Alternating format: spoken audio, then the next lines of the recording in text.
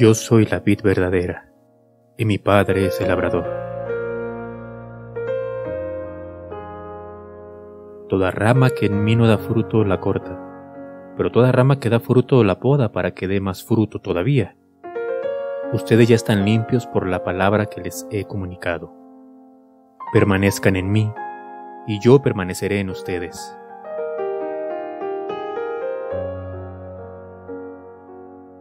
Así como ninguna rama puede dar fruto por sí misma, sino que tiene que permanecer en la vid, así tampoco ustedes pueden dar frutos si no permanecen en mí.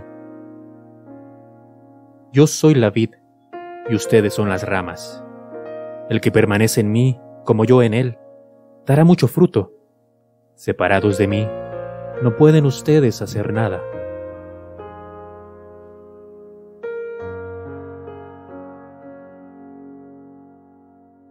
El que no permanece en mí es desechado y se seca, como las ramas que se recogen, se arrojan al fuego y se queman. Si permanecen en mí y mis palabras permanecen en ustedes, pidan lo que quieran y se les concederá. Mi Padre es glorificado cuando ustedes dan mucho fruto y muestran así que son mis discípulos. Así como el Padre me ha amado a mí, también yo los he amado a ustedes. Permanezcan en mi amor. Si obedecen mis mandamientos, permanecerán en mi amor. Así como yo he obedecido los mandamientos de mi Padre y permanezco en su amor. Les he dicho esto para que tengan mi alegría, y así su alegría sea completa. Y este es mi mandamiento, que se amen los unos a los otros, como yo los he amado.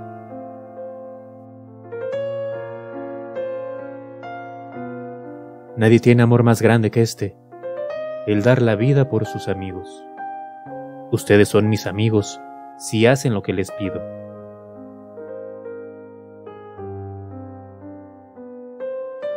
Ya no los llamo siervos, porque el siervo no está al tanto de lo que hace su amo los he llamado amigos, porque todo lo que a mi padre le oí decir, se lo he dado a conocer a ustedes.